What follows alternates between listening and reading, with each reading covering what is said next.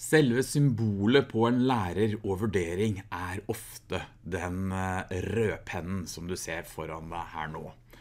Men den digitale rødpennen er det ikke nødvendigvis lett å ta med seg inn i den digitale verden hvis du ønsker å rette for eksempel et Word-dokument med rødpenn.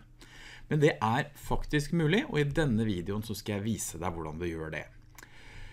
Nå er det jo sånn at uh, Word den utvikler seg nå hele tiden. Før så var det sånn at vi fikk nye versjoner av Word, og Word 2010, og så fikk vi Word 20 og så videre, så fikk vi Word 2016. Uh, og jeg oppdaget, den, oppdaget ikke denne funksjonen her før i 2018.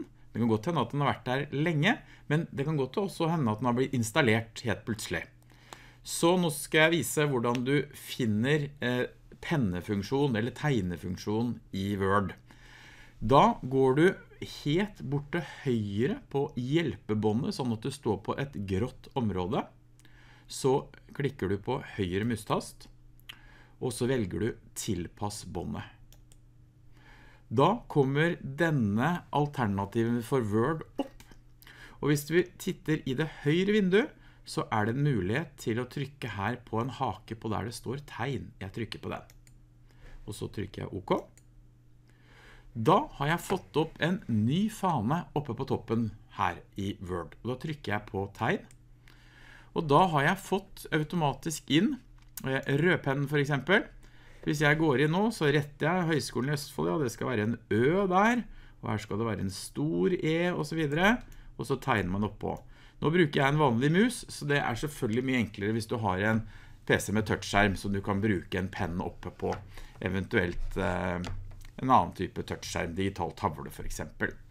Eh, du kan også gå inn, ta merkepenner. Hvis jeg skal utheve digital rødpenn, så får jeg en sånn gulpennfunksjon.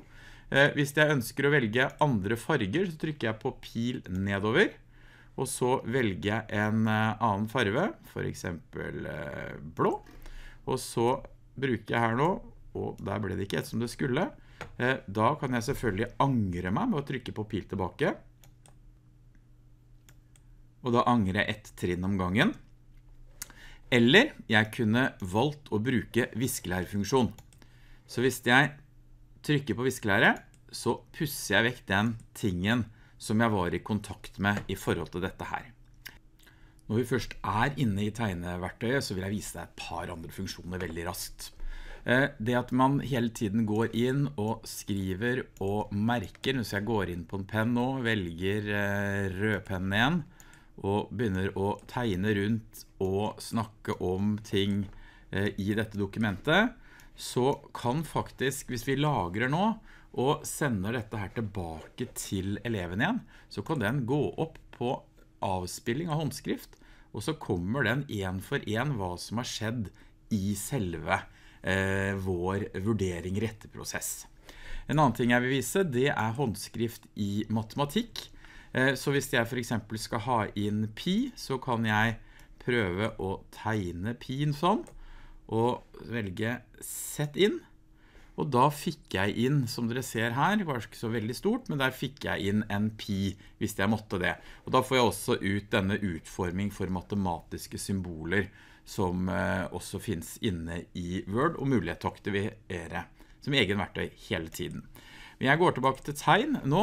Det siste jeg skal vise, det er håndskriftfigurer. Hvis jeg nå eh, går på toppen her, velger meg en penn. Eh, her velger jeg for øvrig også tykkelse på det jeg skal lage. Så er jeg kommet inn, så skal jeg tegne for eksempel en trekant. Og så blir den til en trekant. Så prøver jeg å tegne en sirkel.